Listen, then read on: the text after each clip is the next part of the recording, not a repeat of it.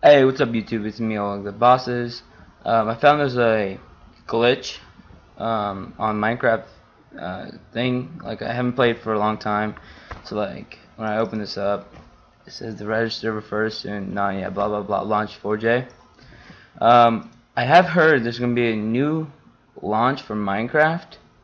I don't know. That's why it's not gonna work, but I found a way how to do it. There's a lot of people out there on YouTube. They're like, just just put in your, your add it to archive or whatever.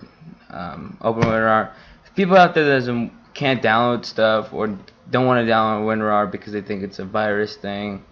Um, this is very easy. You don't have to put any WinRAR. You don't have to do crap. All you have to do is rename it. So as you guys can see, it says .exe, right? So all you have to do is delete the .exe and put minecraft.jar okay? Now it's gonna ask you this. If you change the file name just push yes. It, and then it'll just look like like a cup of like I don't know coffee I guess. So you just open it and there you guys have it. Um, please like please like comment and subscribe on the this video